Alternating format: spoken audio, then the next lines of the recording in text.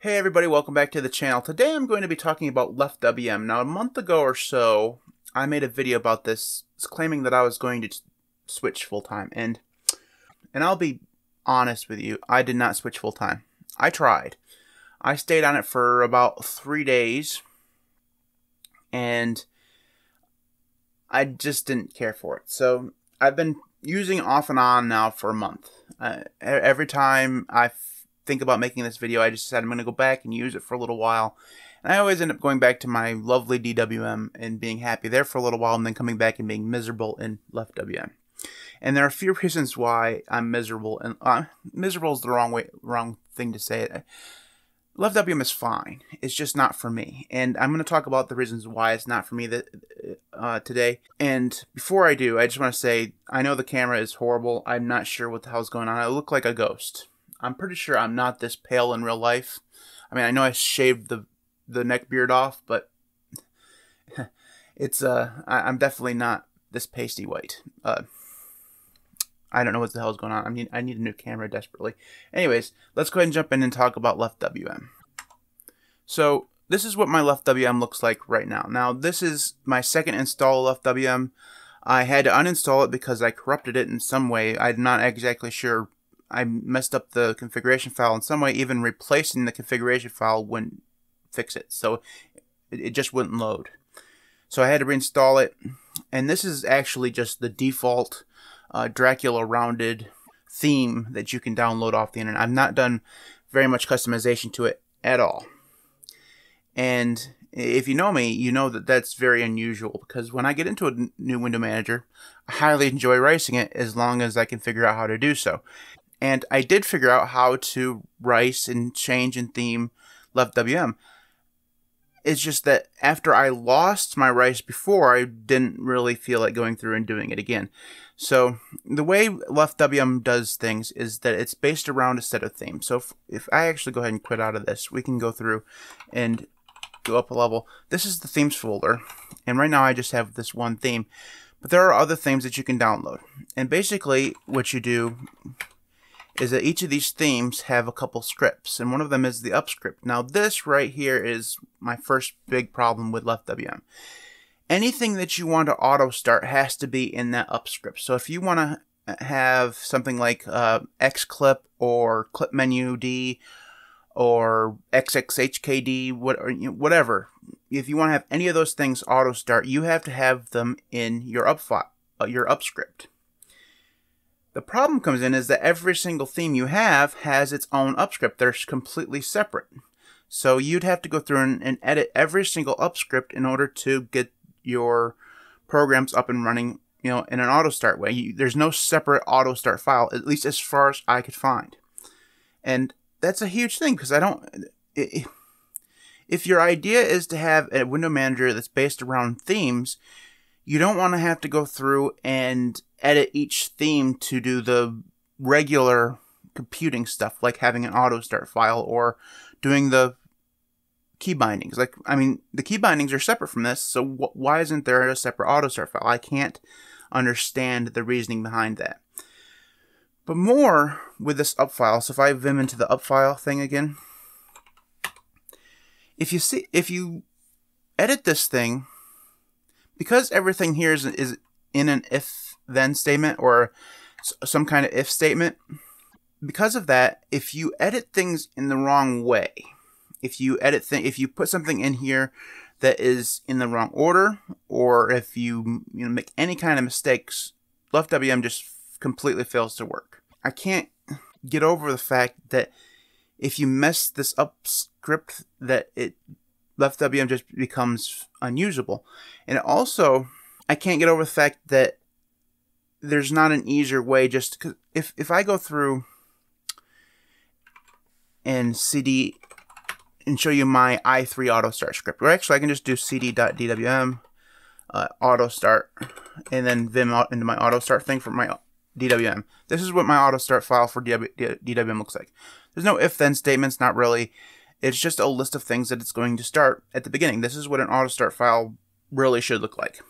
And there's no problems with the way Left WM really does it. It's just that it, it complicates things kind of unnecessarily because some of the stuff in there is duplicate. It's every theme that they have right now calls picom. Every single one of them. Uh, every single one of them calls uh, Dunst. Okay, so those things are redundant in every single upscript. Why not have a separate auto start file where those things are just living and then call the specific theme needed things in an upscript? That would make a ton more sense to me. And it would allow you to go through and edit that auto start file so that you don't have to, you know, mess around with those upscripts and potentially make a mistake. So that was my first problem. When I first installed LeftWM, I actually couldn't get the upscript to run at startup. I had to actually go through and go go into um,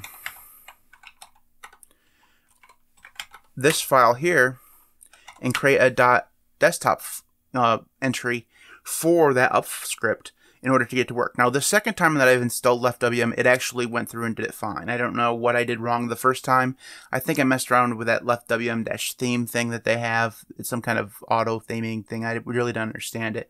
So the second time it's done fine. The up so the upscript was one of the my was my probably my biggest problem with LeftWM is just because the auto start uh, script or auto start file that I always have is something that's really important to the way I do my computing because I have certain things that always have to start. Like I, I just showed you the script that I have for DWM. I always have clip menu. I always have MPD. Uh, you know, I always have Dunst. I always have SXHKD because a lot of my key bindings and stuff are in SXHKD, and I like having uh, that one SXHKD file, which I can tr- take with me to whatever window manager I'm in. And I can't do that here because every time I tried to add SXHKD to the up script, things went wrong. You know, either the script wouldn't run or LeftWM wouldn't start or, you know, something was always going wrong. And now some of that is going to be my inability to understand what was going on in the up script because you have to have things in a certain order and it, it you know, it's just overly complicated. So I'm 100% willing to admit that most of my problems with the up thing is one laziness and that I don't want to have to go through and edit every single upscript of everything, every single theme that I use in order to start the programs that I want to have started. And second, my inability to actually understand the, the necessary order of things in that script. I'm like, I'm not sure why things have to go in that order. Like, for example, polybar has to, for whatever reason, be at the end of that script. Always, right? You can't start that at the beginning. Now, I understand that the reason why is because Polybar is a something that's consistently running in the background, right? So, um, I, I really can't show you this, but if you if you notice that that that file that I was on before, every single entry had an and after it. Polybar can't really have that and at, at the end, so it's I I might be completely wrong with it. I don't know. I don't even know. I just know that the Polybar thing has to be at the end. Uh, so the up thing was in the auto start problems were was my first big problem. The second one is multi-monitor support. So I have two monitors. I have two 27-inch monitors in front of me, and I desperately need a third one, but I don't have room for it. So I suspect that's one of the reasons why I ha- I have a, a, a burning need to have more than nine workspaces, and I'm not even sure if LeftWM can handle more than nine workspaces. I didn't try. I was trying to uh, get into not using so many workspaces when, when I was in this one, but you know, whatever. My biggest problem is that because I use so many workspaces and I switch between the monitors so often, because like right now I have the terminals on you know screen one and I have OBS and Audacity on a, another workspace, and if I switch you know between them, this is six, and I think this was four, no three. Uh, you know, I switch between them, and LeftWM is very much like Qtile in that the nine workspaces are shared between them, and if you switch between six and four, they actually switch between monitors. And that's fine. I got used to that in Qtile. I could get used to it in Left, LeftWM. It's not a big deal. It's something that you just have to get used to. It's not like it's not a big deal. My biggest problem is that there doesn't seem to be a way to move applications from one tag or workspace or whatever they call them. I think they call them tags in LeftWM uh, there's no way to move them from one tag uh, that's on one monitor to the tag on an- the other monitor without actually just moving them to a different tag. So right right now I have a workspace 4 and workspace 6 up. I couldn't move work the things that are on workspace 6 to workspace 4 without them switching I couldn't move. Okay, so this is really this is very complicated. What I want to do, I, what I want to do, is keep both six and four on the same monitors and move the applications between them. Now, what I could do is just do mod shift 4 and that would move the application to that workspace. But in every other window manager, there's a way to move things between workspaces. So if I wanted just to move Audacity back over to workspace 6, I could just do in say like DWM or something, I could just do super shift and then either the arrow keys or the Vim keys. And you can't do that in left WM. You just have to go super shift six, and that takes it back to where you know it was before. But that's kind of annoying because I just would would much rather just use the key bindings I'm used to. And normally, what you'd do is say, you know, just go through in in the command or, or in the uh, config file, which is this here, just create a key binding for that. The problem is that the callouts to to move to an application from one monitor to the other don't exist, as far as I can tell. Now I've been through their their documentation. There doesn't seem to be anything there that moves from one monitor to the other. There also doesn't seem to be a way to move focus between one monitor and the other. So that's the uh, the moving thing is there's a workaround, right? So you, I could go through and just move them to whatever tag is active on that monitor. So right now, workspace 3 and workspace 6 are active. If I wanted to move things around, I could just move them around using mod shift works 3 and 6. You know, that would work. But moving focus is actually much different because I want if I don't want to use my mouse to actually move focus, uh, and I just want to move focus from three to six, but I want to keep the monitors exactly the same. There doesn't appear to be a way to do that. Uh, now there's a key binding mod W, which will allow you to change to the focus to the last workspace you were on. And that kind of works. It's kind of a hacky way of doing it, but it's not really because if your last workspace was also on the same monitor, that's the one you change to, not the monitor that's over here. I just want to change focus. I don't want to go through and change uh, the where the monitor, the layout of the apps on the monitors right now. I just want to change focus from monitor 1 to monitor 2, and there doesn't seem to be a way of doing that. Now, in every other window manager there is. Xmonad has it, Qtile has it, i3 has it, DWM has it. It's a, a basic functionality that you need if you're going to support multiple monitors. So now I'm going to just put this out there. Left WM is a new tiling window manager. Hasn't been around for all that long, I don't think.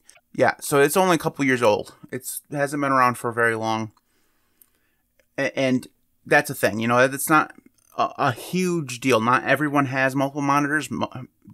There, maybe the developers don't have multiple multiple monitors themselves, so this is not necessary. So maybe, like I said, maybe the developers don't have multiple monitors. Maybe it's just something that hasn't been a focus for them, and that's not a big deal. There's a ton of window managers out there that don't even have any multiple monitor support at all. Like Franken WM doesn't support multiple monitors at all. You just have one gigantic thing that's spread across both your monitors, and that's how it works. It's just completely unusable, and that's just the way it is because it's a it's a small project, and that's what Left WM is. The fact that it supports it even as much as it does is really good. It's not right, and it's not you know the way you should do it, but the fact that it's as good as it is is respectable. So those are my two biggest gripes with Left WM. It reminds me a lot of Qtile in terms of the way things are laid out and the way things move around. And I got used to Qtile using it for quite a while, about a year ago. So I was, you know, I enjoy Qtile and I could find myself enjoying Left WM at times. But the fo- the inability to focus between monitors is a huge deal because I switch between monitors all the time, and I don't want to grab my mouse and swish it all over to the other monitor in order to change the focus. Now, I could just go through and switch the, you know, the workspaces so that the workspace of the other monitor is not on the main monitor. That's what I ended up doing. And that's not, that's not really, that removes the greatness of having two monitors. You know, because that means I'm always focused on this monitor. I might as well just only have one monitor.